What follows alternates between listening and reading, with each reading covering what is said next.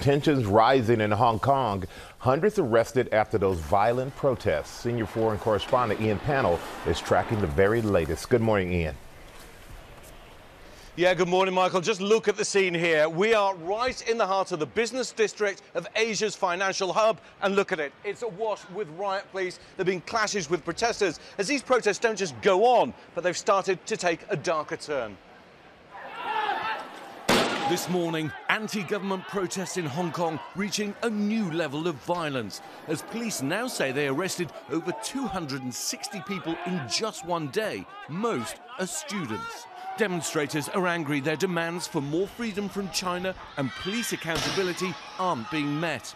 A mob of protesters ganging up on this one man in white, a sign of how intolerant and angry this movement has become, as others run through a shopping mall, smashing windows. Hong Kong's chief executive issuing a stern warning. If there is still any wishful thinking that by escalating violence, the Hong Kong SAR government will yield to pressure to satisfy the so-called political demands. I'm making this statement clear and loud here. That will not happen.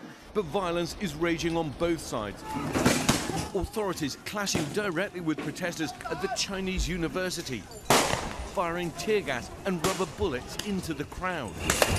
Overnight, police indiscriminately blasting protesters with water cannons. This latest violence unfolding just one day after this officer fired his weapon at a demonstrator standing just feet away.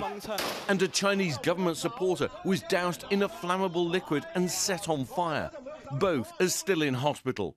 Despite this escalation, protesters say they have no intention of stopping until their demands are met. We are so angry about the police brutality and the violence that happened uh, like in the past five months in Hong Kong. Overnight, the State Department condemning violence on both sides, urging them to engage in a sincere dialogue. You can see the situation on the ground. There is no talking. And Beijing has warned about the role of what it describes as foreign forces interfering. Robin? Remains a very tense situation there. All right, Ian, thank you. Hi, everyone. George Stephanopoulos here. Thanks for checking out the ABC News YouTube channel. If you'd like to get more videos, show highlights, and watch live event coverage, click on the right over here to subscribe to our channel. And don't forget to download the ABC News app for breaking news alerts. Thanks for watching.